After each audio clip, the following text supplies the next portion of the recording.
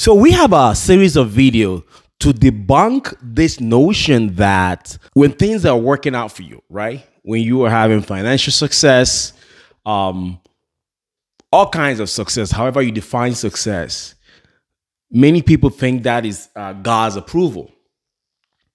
And that means, um, and that's how it's been communicated a lot in many Christian circles. So the question is Does having success or making progress in in your life is that a sign of God's approval?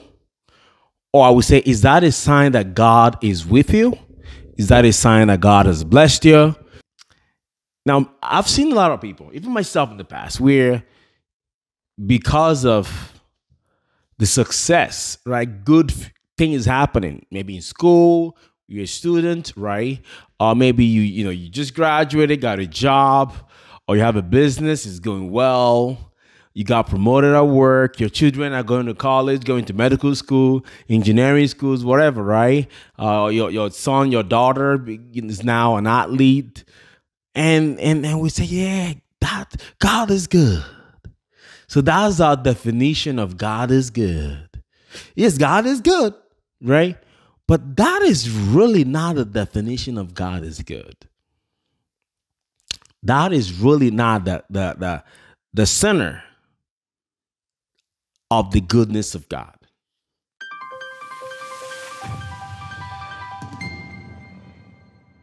The death of Jesus is not, a, not wasn't the beginning of financial freedom, but it was the beginning of something. Was the beginning of something that money cannot buy.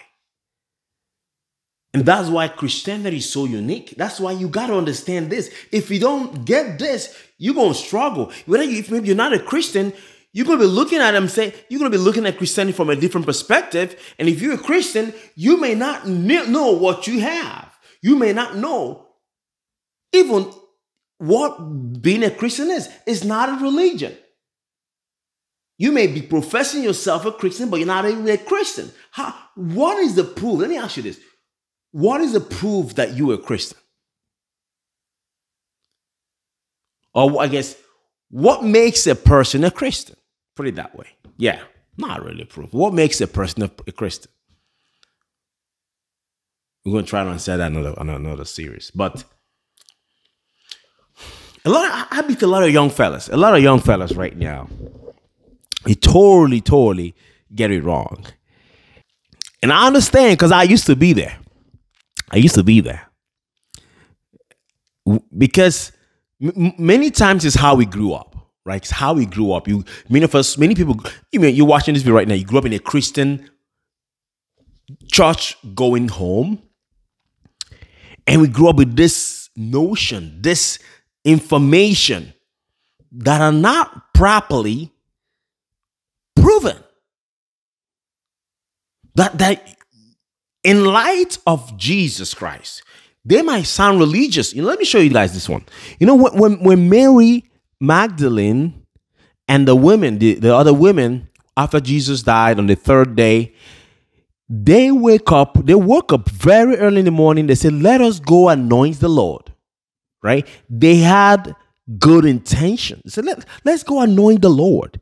So in their mind, they thought the Lord was still dead good intention, but bad practice. When they got there, they met, saw a man, saw someone, an angel, and he asked them the question, said, Why are you looking for the living among the dead? Why are you looking for the living among the dead? He didn't, didn't congratulate, congratulate them. Hey, y'all, y'all did good. Y'all came out here to anoint the Lord. Good, good, good women. You know, I, I, used to look at that story from man, these women woke up early, they they they are they're pious and God loving, man. I gotta be dedicated.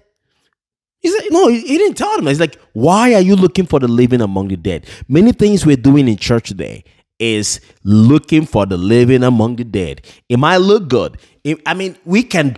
I mean, many things we might be doing from right heart, from the right perspective. But you can be hustling backwards And that is real. Those women had good intentions, but because they didn't really understand the, the, the plan of Jesus Christ, they didn't really understand the, the scripture. Because if they did, look at let's let's look at this. Like in, in the book of Luke, this is after Jesus, you know, after in, interacting with some of them, he you know, and this is what he told them. He met one of his disciples um that were after that incident, this incident I described happened. He and two of his disciples were going and complaining, like, and Jesus came along and walked with them. Right. This is Luke 24. If you read them from, you know, from 17 down, and then they were talking, and Jesus said, Hey, what are you talking about? Was like, Man, are you a stranger in Jerusalem? Don't know what happened these days? He's like, What? He said, Yeah, concerning Jesus Christ, man. He's a good man, you know, and, and they killed him, and, and all, the, they went on and on and on. And they said, we, we, we, we were hoping that he would be the Savior, you know? And what is that definition of savior? They're probably thinking about Roman Empire because then they were under the Roman, um, you know, rule. Like we, we hope he, they're going to save us. Now they say that it said the savior. They said the word savior, but their definition of savior is different from what Jesus called savior. Because for Jesus, savior meaning means he had to die. Now the question is: is is his death a new concept, something that was hidden? We're going to find out. So let's go to 25, verse 25. I love this part. And then Jesus said unto them, O fools and slow of heart. he called them fools.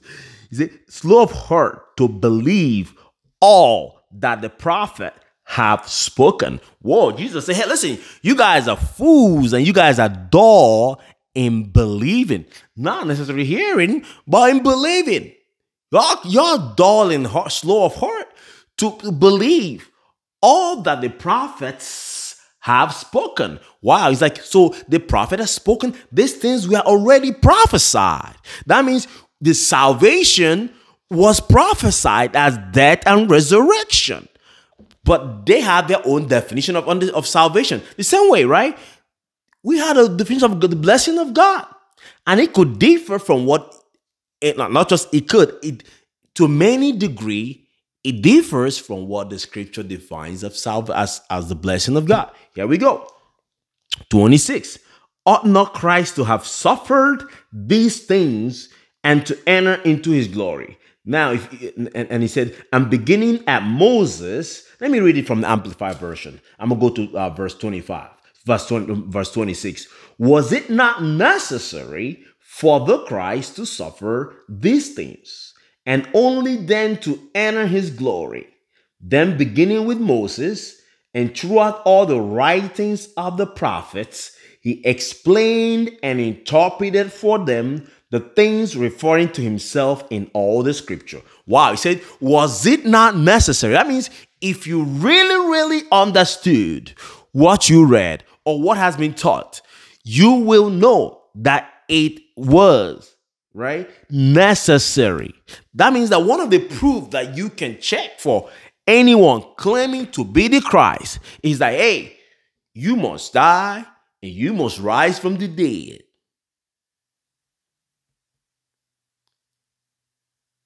He said, he said these things that were already spoken by the prophets.